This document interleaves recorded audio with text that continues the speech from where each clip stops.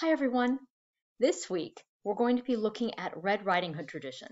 That is, that familiar fairy tale you all grew up with, and using that tale as a basis to start exploring the surprising facets of fantastic literature. And we're also going to be talking about your scholarly presentations. I'll be going through an annotated example showing you exactly what you need to do.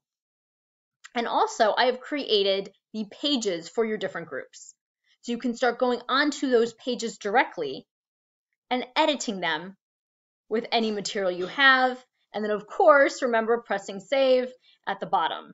And as always, I recommend that you not type directly onto the page. Type it onto a Word document, copy and paste it over so that nothing is ever lost. I look forward to talking with you this week and reading your posts. I loved your post from last week's. Left you all comments I think we're really going to enjoy being together and uh, coming together around this topic of fantasy literature. Hope you have a wonderful week, and I'll see you all soon. Bye.